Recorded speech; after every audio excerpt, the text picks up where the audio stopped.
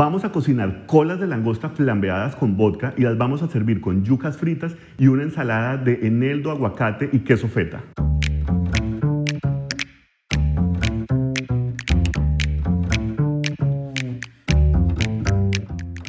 Muchas veces pensamos que la langosta es muy difícil de preparar y que es un producto casi exclusivo de los restaurantes.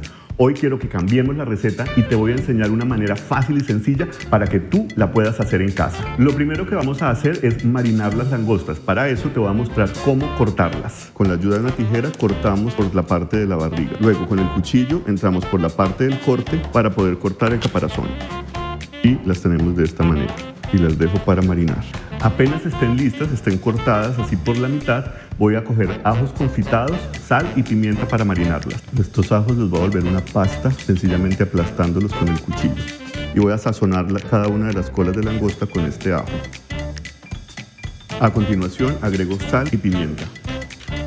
Una vez tenga sazonadas mis langostas, las voy a dejar en el refrigerador hasta el momento de cocinarlas. El siguiente paso para mi menú es alistar la mantequilla clarificada que voy a utilizar para sellar mis langostas. Para eso necesito mantequilla y una olla. Para clarificar la mantequilla la voy a poner en una olla que está fría y la voy a cocinar a temperatura media. Poco a poco vamos retirando toda esta espuma que se está formando en la superficie de la mantequilla. En este punto que ya no tiene más espuma, la puedo pasar por un filtro de papel. Esto es un papel de cocina común y corriente. Pongo dos pañitos proporcionales al tamaño del colador que estoy utilizando y con la mantequilla caliente la paso por el filtro. Y de esta manera tenemos así de fácil nuestra mantequilla clarificada. La voy a dejar aquí porque la voy a utilizar al momento de sellar las langostas. El siguiente paso para el menú de hoy es alistar la yuca. Para poder freír la yuca, la yuca tiene que estar previamente cocinada y fría. Les voy a mostrar cómo.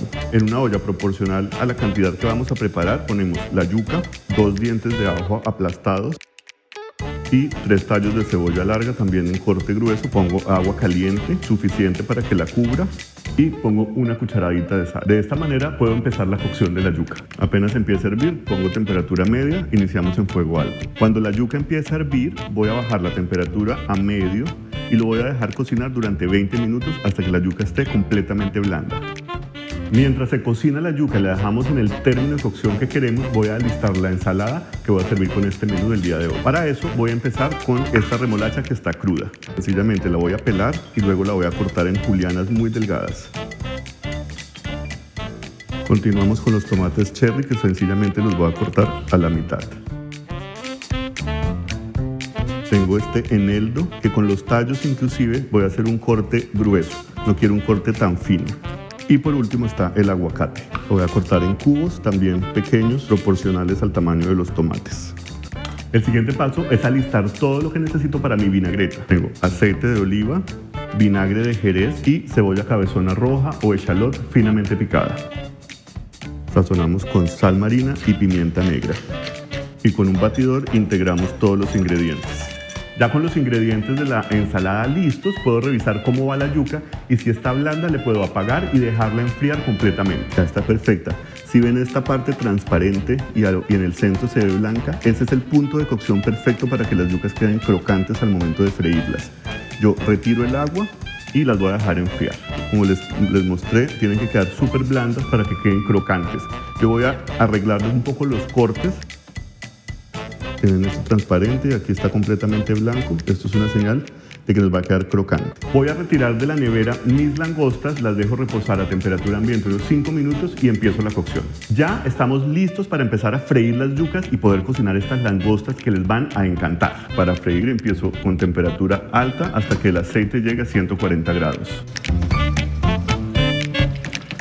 Ya las yucas están empezando a dorar entonces puedo calentar la sartén en la que voy a hacer mis langostas. Empiezo a temperatura alta para que la sartén tome calor. Ya las voy a retirar, las dejo escurrir muy bien y quedan listas para servir.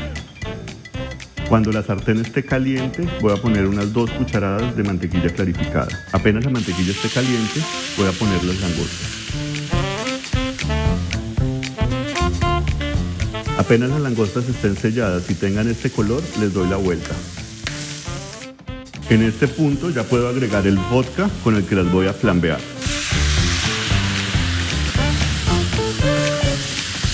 Bajo el fuego al mínimo y las voy a tapar para que se cocinen con ese vapor que va a generar el vodka. Ya en este punto agrego dos cucharadas más de mantequilla clarificada y estamos casi listos para servir. La carne tiene que estar firme y también va a cambiar el color del caparazón. Esa es una de las señales que nos muestran que nuestras langostas ya están. Esto huele absolutamente delicioso. Ya justo al momento antes de servir puedo armar mi ensalada.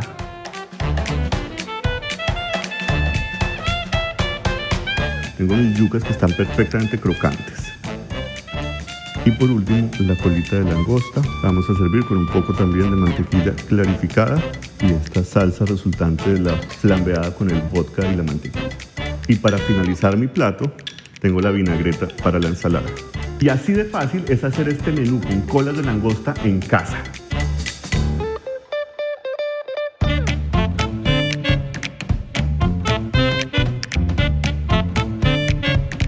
Si te gusta comer rico, dale like a este video, suscríbete a mi canal, activa las notificaciones y prepárate para cambiar tu vida cambiando tu receta.